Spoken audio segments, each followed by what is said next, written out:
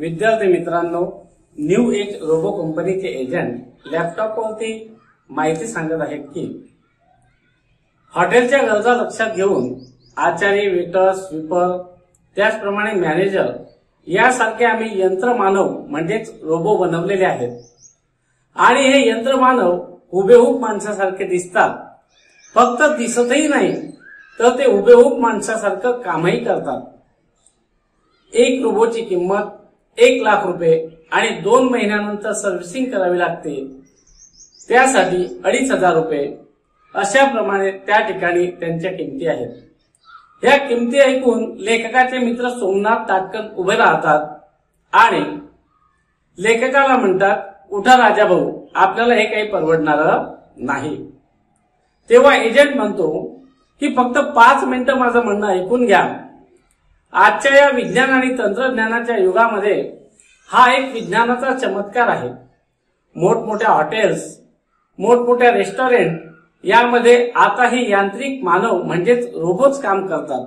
आमच्या रोबोबाबत त्या रोबोच्या खाण्यापिण्याचा कामचुकारपणाचा पगाराचा असे कोणतेही प्रश्न उद्भवत नाही. उलट मानवी रोबोपेक्षा आमचे वेटर जास्तीचं काम करतात आणि मालकांना जास्तीचं कमाई करून देत असतात. मी आणि माझा मित्र सोमनाथ उर्फ सोमा गेल्या चार वर्षापासून बाजारपेठेच्या मधोमध आमचं एक हॉटेल आहे हॉटेल हेरिटेज.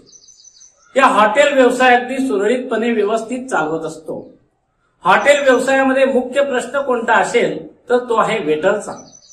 कारण भांडणं करणं वेळेवरती दांड्या मारणं पगारवाढ वेळोवेळी त्या ठिकाणी करा म्हणणं अशा अनेक तक्रारी वेटरच्या असतात. पण त्यामध्ये वाळवंटामध्ये हिरवट सापडावी त्याप्रमाणे आमच्याकडे एक मानवी वेटर आहे. नाव त्याचं मनोज. हा मनोज याच्यामध्ये अनेक त्या ठिकाणी दुर्गुण असतील पण प्रामाणिकपणा आणि प्रसंग उदाम हे दोन गुण अभावाने त्याच्यामध्ये सापडतात. लेखक चार रोबो खरेदी करतात आणि मनोज आणि लेखक त्या चार रोबोंना रामू श्यामू दीपू आणि विजू अशा नावं देऊन हाका मारायला लागतात. संध्याकाळी अकरा वाजता हॉटेल बंद झाल्यानंतर लेखक त्यांना चार्जिंगला लावतात आणि सकाळी हॉटेल सहाला सुरू होते. त्यावेळेस लेखक त्यांच्या डाव्या खांद्यावर असलेलं पॉवर स्विचचं बटन ऑन करतात. पॉवर स्विचचं बटन ऑन केल्यानंतर तो रोबो गुड मॉर्निंग सर असं म्हणतो आणि आपल्या कामाला लागतो. साहजिकच त्याच्या डोक्यामध्ये हॉटेलच्या सर्व कामांचं मेमरी कार्ड बसवलेलं असल्यामुळे अगदी वेळेवर आणि व्यवस्थित टापटीपणे तो आपलं काम सुरळीतपणे करत असतो. रोबोमुळे त्या ठिकाणी आमच्या हॉटेलचा टापटीपणा स्वच्छता वाढली आणि साहजिकच कमाईमध्ये सुद्धा वाढ झाली. अशा प्रकारे दुसरं वर्ष उजाडलं आणि सर्व्हिस इंजिनियर सर्व्हिसिंगसाठी आले आणि त्यांनी सांगितलं की अडीच हजार रुपये ऐवजी आता तुम्हाला सर्व्हिसिंगचे पाच हजार रुपये पडतील. आता साहजिकच हे आम्हाला परवडणारं नव्हतं. जेव्हा जेव्हा सर्व्हिस इंजिनियर यायचे तेव्हा तेव्हा मी लक्ष घालून थोडंफार त्या ठिकाणी शिकून घेतलेलं होतं. त्यामुळे आम्ही सर्व्हिस इंजिनिअरिंगची सर्व्हिस घेणं बंद केलं. आणि आपणच त्या ठिकाणी रोबोटची देखभाल करूया. कारण आपल्या शहरामध्येही आता कमी अधिक प्रमाणामध्ये रोबोटची दुरुस्ती होऊन जाते असं आम्ही ठरवलं. आणि कंपनीची सर्व्हिसिंग घेणं बंद केलं. एक सर्व्हिसिंग मी स्वतःच केली. आणि एक महिनाभर कोणत्याही प्रकारची अडचण आली नाही. मला खूप आनंद झाला पण माझा हा आनंद जास्त काळ टिकला नाही. त्या दिवशी दुपारी अचानक लंच सेक्शनमध्ये गोंधळ ऐकू येऊ लागला. सोमाला मी काउंटर सांभाळायला सांगितलं आणि स्वतः लंच सेक्शनमध्ये गेलो. बघतो तर काय गेल्या गेल्याच एक जण म्हणाला की साहेब हे कासव कुठून आणून ठेवलं? किती संतगतीनं त्या ठिकाणी काम करतायत. त्याचं बोलणं होतं न होतं तोच त्या ठिकाणी एक बाई आपल्या मुलाकडे बोट दाखवत म्हणाली की माझ्या बाळाला एक कप दूध पाहिजे होतं. एक घंटा होऊन गेला पण अजूनही दूध आलेलं नाही. बरंय माझा मुलगा झोपलाय नाही तर आतापर्यंत तीन वेळा दूध पिऊन ढेकल देऊन मोकळा झाला असता. असे अनेक प्रश्न त्या ठिकाणी उद्भवले तेव्हा माझ्या लक्षात आलं की कदाचित शामू आहे. या शामूची बॅटरी शेण झाली असावी चार्जिंग उतरलेली असावी. म्हणून त्याच्या छातीवरती असलेलं एनर्जी नावाचं बटन मी चार वेळा दाबलं. आणि पुन्हा मला आनंद झाला.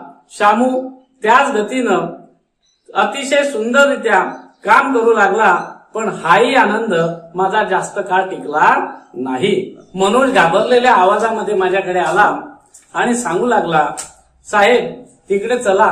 लेक लंच सेक्शनमध्ये खूप गोंधळ झालेला आहे. जाऊन बघतो तर काय? शामू ताट उचलतोय काय? मांडतोय काय? उचलतोय काय? मांडतोय काय? आणि अशा प्रकारे हा अनपेक्षित अनाकलनीय प्रसंग बघून गिराईक सुद्धा भांबावून गेलेले होते अचंबित झालेले होते. असे पुन्हा प्रसंग पुन्हा उद्भवू नये याच्याकरता आम्ही सर्व्हिस इंजिनियरला बोलवून घेतलं. सर्व्हिस इंजिनिअरिंगने ताबडतोब त्या सर्व वेतनांना एका दिवसामध्ये दुरुस्त केलं आणि आम्हाला सांगितलं की एक महिनाभर या रोबोंचा कोणताही प्रश्न उद्भवणार नाही. परंतु अधिकचं काम केल्यामुळे आता हे रोबो निकामी झालेले आहेत. तुम्हाला नवीन रोबो घ्यावे लागतील. हे नवीन रोबो रिमोट कंट्रोल सिस्टीम त्यांच्यामध्ये असल्यामुळे आपण लांबूनच त्या रोबोंवरती कंट्रोल ठेवू शकतो. तुम्हाला काडीचाही त्रास होणार नाही. तुमचा निर्णय तुम्ही लवकर ठरवा आणि मला कळवा. आता लेखकांसमोर लेखक म्हणताय की द्विधा अवस्था निर्माण झालेली होती. कारण अशा प्रकारचे हे प्रसंग पाहून रोबो घ्यावे का न घ्यावे? त्याचबरोबर हॉटेल व्यवसायामध्ये वेटरचा असणारा गंभीर प्रश्न तो कसा सोडवायचा अशी द्विधा अवस्थेमध्ये लेखक होते. आणि मग अचानक अशा प्रकारे एक काही प्रसंग घडतो की लेखकांना निर्णय घ्यावा लागतो आणि तो कोणता निर्णय? हा निर्णय आपण स्पष्टीकरणाच्या उत्तरार्धामध्ये बघूया.